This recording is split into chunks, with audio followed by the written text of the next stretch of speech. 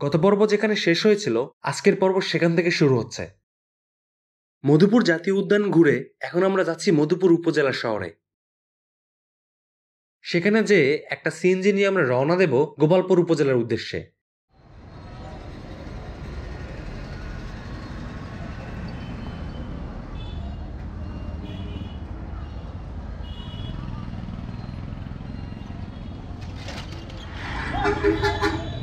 জায়গায় যাব না হ্যাঁ গোপালপুরে।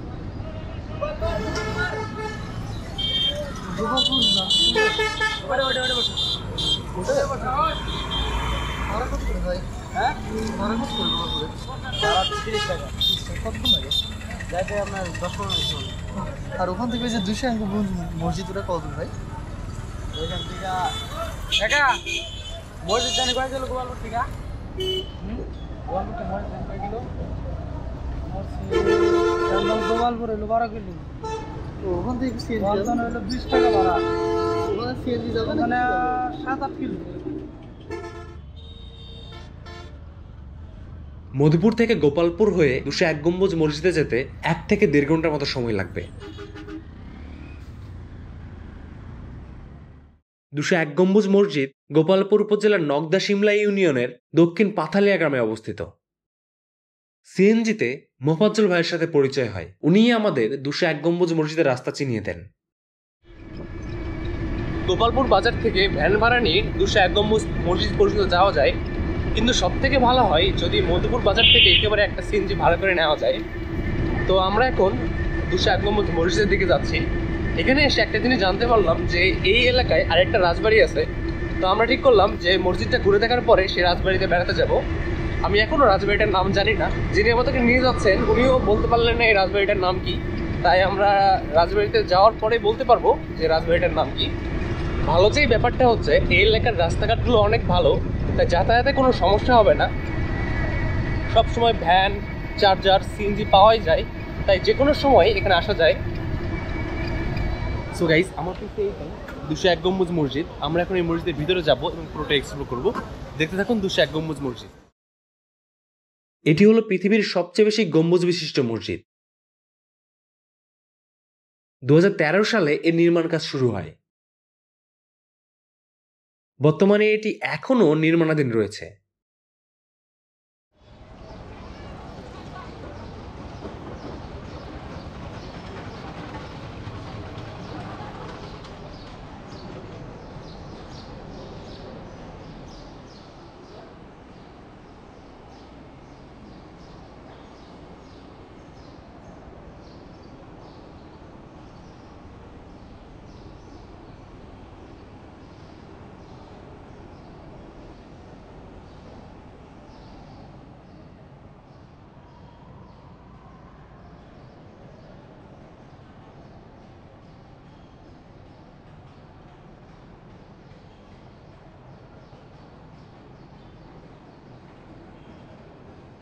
এই মসজিদটি বর্তমানে এখনও নির্মাণাধীন রয়েছে।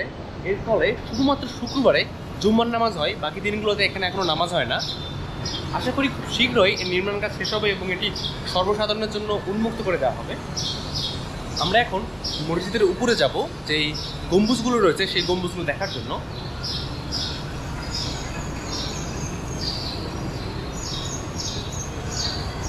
এগুলো হচ্ছে মসজিদের ছোট গম্বুজ, আর মাঝখানে বিশাল একটা গম্বুজ রয়েছে।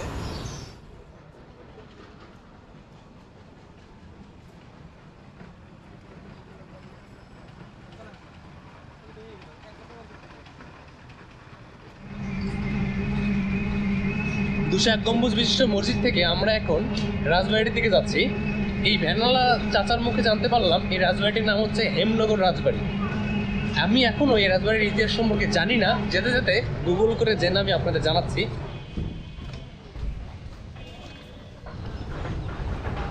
এটা হচ্ছে ঝিনাই নদীর উপর একটা ব্রিজ এই নদীটা এখন প্রায় মৃত, আর এটা হচ্ছে একটা ব্রহ্মপুত্র নদের শাখা।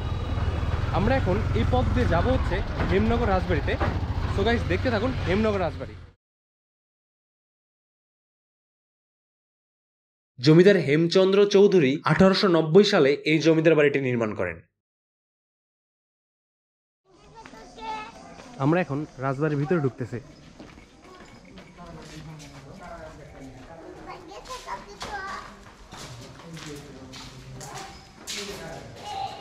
এটা হচ্ছে রাজবাড়ির পরিত্যক্ত অংশ। বলতে গেলে বিশাল একটা রাজবাড়ি এটা।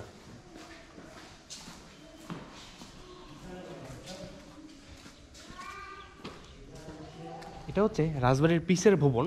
এই রাজবাড়ির সামনের যে ভবনটা রয়েছে সেটা এখানকার হেমনগর কলেজের মূল অফিস হিসেবে ব্যবহার করা হয়। এই চাচা আমাদেরকে হেমনগর এই রাজবাড়িতে নিয়ে আসতেন চাচা আপনি এই রাজবাড়ি সম্পর্কে কিছু জানেন? এটা আগের সম্বন্ধে কি জানেন? আচ্ছা আচ্ছা। এই বিল্ডিংটা কি একটাই এখানে?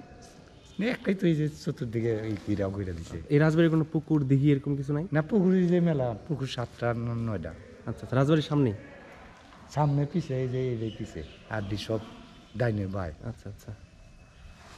পুকুর তো দেখে হয়েছি। মসজিদে গেছিলেন না? হ্যাঁ হ্যাঁ হ্যাঁ। পিছে আছে সামনে আছে?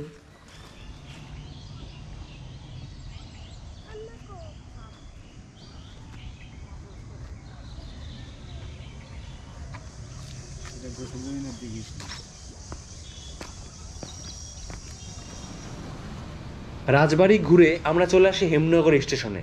সন্ধ্যা ছয়টায় ধলেশ্বরী এক্সপ্রেস ট্রেন ধরার জন্য। এই ধলেশ্বরী এক্সপ্রেস ট্রেন ঠিক রাত এগারোটায় ময়মনসিং পৌঁছায়।